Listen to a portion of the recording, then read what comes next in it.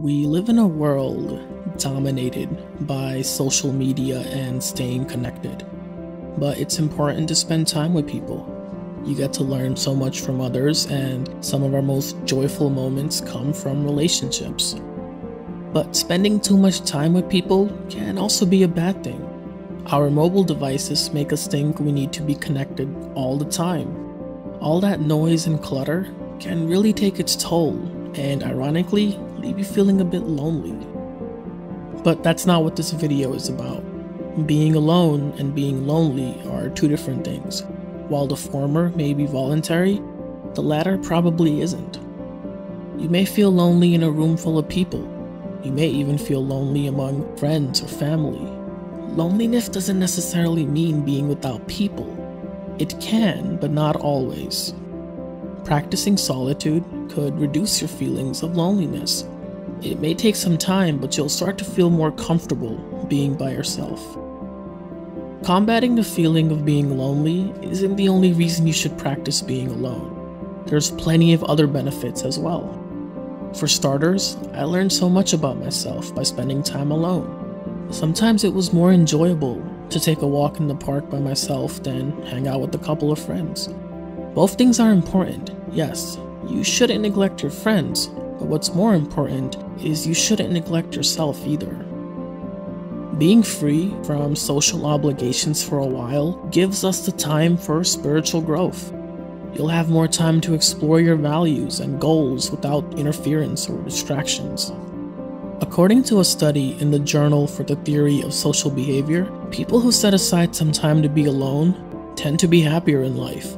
They're said to have better life satisfaction and lower stress levels. Being alone really opens your mind about yourself and who you really are deep down. And getting to know who you are and your core values can also help you enhance the quality of your relationships as well. You're more likely to make wiser choices about who you want to be around, and you may even start to appreciate some of the people in your life a little bit more now that you're more connected with your mental state. There's a reason artists, musicians, and writers like their privacy when creating their masterpieces. Studies even show that being alone can improve your creativity, which leads to an increase in productivity. And I would agree based on my own personal experiences.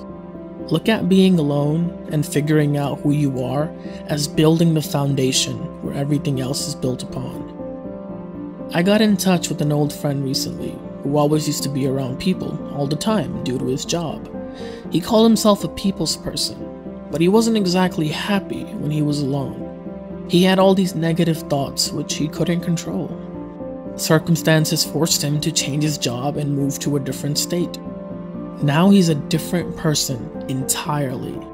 He admits that life may have forced him to be alone for some time, but it's been the best thing that's happened to him. He was able to find his inner calling, and his love for his wife and kids are now stronger than ever.